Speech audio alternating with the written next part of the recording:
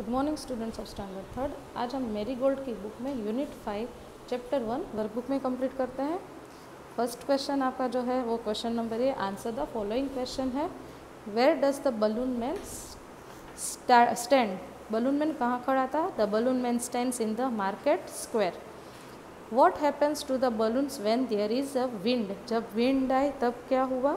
When there is a wind the balloons tug off like anything फिर what does the child like to see the balloon man do child को क्या पसंद था? Balloon man क्या करना था?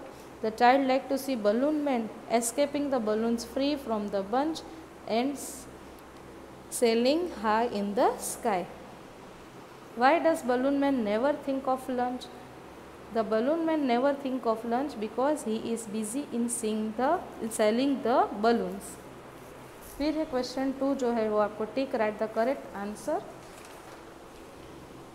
फिर यहाँ complete the lines of the poem poem की लाइंस जो है वो कंप्लीट करनी है. फिर यहाँ नीचे जो है आइडेंटिफाई द वर्ड्स रीअरेंज करने हैं वर्ड्स को.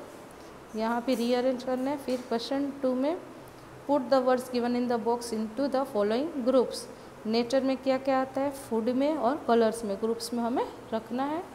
फिर इसको हिडन वर्ड्स जो है वो आपको ढूंढकर यहाँ नीचे लिखने हैं।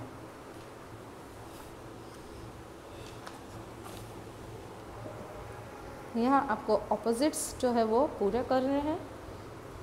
और यहाँ दो क्वेश्चन जो है वो how high can balloon fly balloons can fly too high they fly as far as we can see what do you like about this poem I like the bunch of balloons in the poem तो students आपको ये आपकी workbook में complete कर लेना है। Thank you